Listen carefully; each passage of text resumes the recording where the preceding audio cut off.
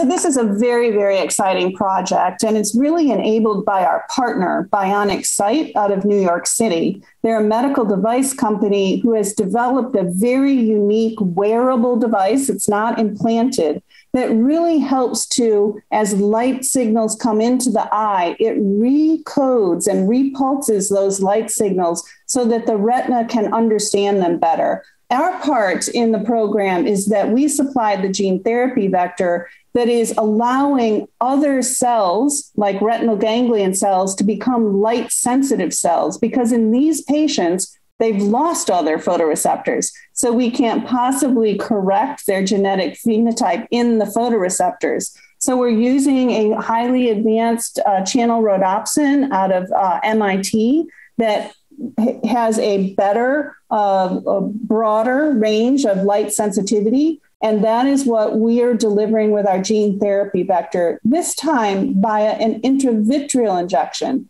because it's much easier for the AAV in the eye to get to the retinal ganglion cells.